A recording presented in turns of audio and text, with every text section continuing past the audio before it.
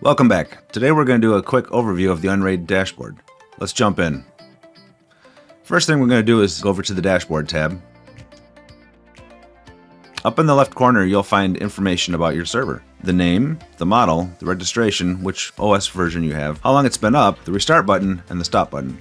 The image here you can change to whatever fits your machine. If you click edit, you can just select whichever one matches yours, and there you go. Below that, you have the motherboard that's in your system. Below the motherboard, you have the processor. It shows you the overall load, each individual core's load, and then the little graph at the bottom here shows you the same information.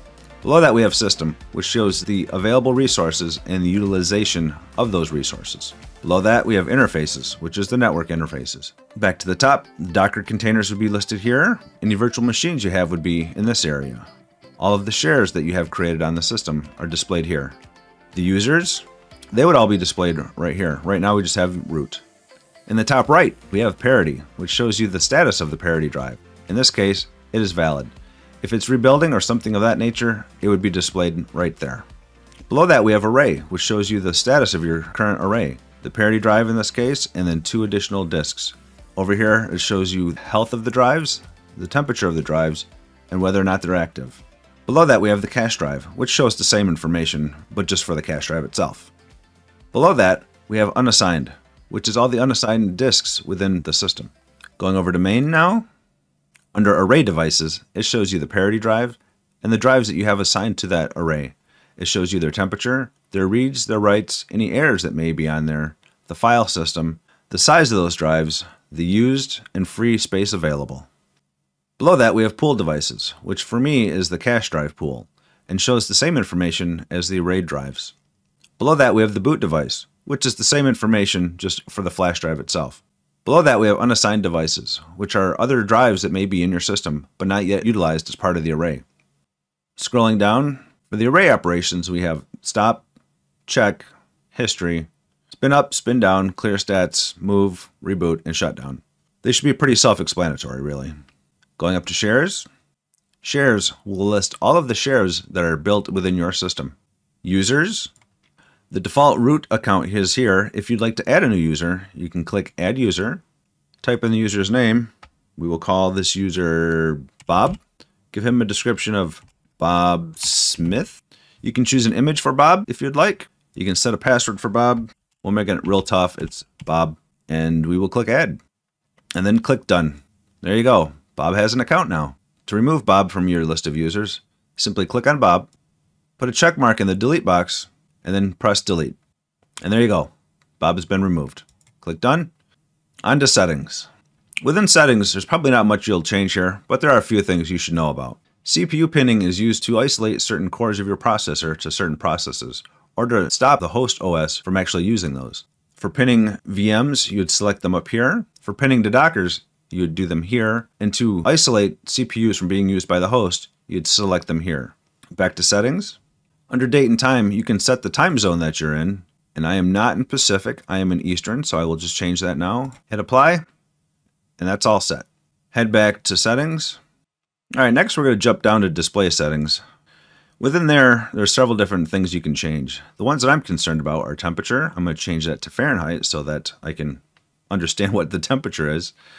And then under Dynamix color theme, I'm a big fan of a darker layout, so I'm changing mine to black. The other thing that you'll probably run across seeing different people out there, they will have a banner across the top. By that I mean up here in this top section of the dashboard. That is selected down here. Very last option says show banner. You drop down, select yes. This is the default banner. You hit apply, and there you go. Dark theme, with a nice little banner up there. And that is customizable. You can put your own banners up there. All right, from there, press done. Next, we're going to go to notification settings, which will allow your system to notify you if there's any updates. To do that, click on Unraid OS Update Notification, drop down, and select whatever frequency you would like. I'm fine with once a day. Plugins and Docker update notifications, I also have those set for once a day. Scroll down, press apply, and you're all set. One additional note on that. If you scroll down a little further, you've got the ability to set up an email notification and lots of other services like Discord. Just fill out that information with your details and it'll notify you on those platforms. Once done there, press done. Next, we're going to go to Scheduler. That schedules different actions to occur on your server. Under Parity, you can drop down and select Weekly. This allows you to schedule when the parity check is going to happen. After Weekly has been selected, you can choose a date and time that you would like that action to run. When you're happy with your settings, go ahead and hit Apply. Go ahead and scroll down. Under Mover Settings, this is the schedule on which the mover will run, in this case daily at 3.40 a.m., which is fine for me. Down below, the trim settings. If you have a solid state drive in your system, then you would want to turn on the trim here. So I am going to select daily and then hit apply. All right, back to the top on plugins. These are the different plugins that are installed within your system. Over on the right side, you've got check for updates. If you want to force a manual check, you just click that. Status will show you the current status of your plugins, if they're up to date or not. Next, let's jump over to Docker. I have no Docker set up currently, but all the commands for them are down here. You can check the container size, you can update all of them, you can check for updates, resume them all, pause them all, stop them all, start them all, or add containers. We'll get into these more later on.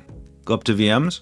If you have VMs in your system, you control them here. You can add a VM, start all of them, stop all of them. Clicking over to the Apps tab, this is the Community Application Store, and there's a tremendous amount of plugins and Dockers in here. In the top left, you can search for items.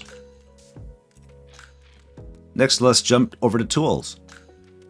There's not much you really going to need in here. A lot of it's diagnostics and hardware related stuff, but a couple of different things you might want to know about. The new config, if for some reason you need to wipe out all your drives and start all over, this is where you do it.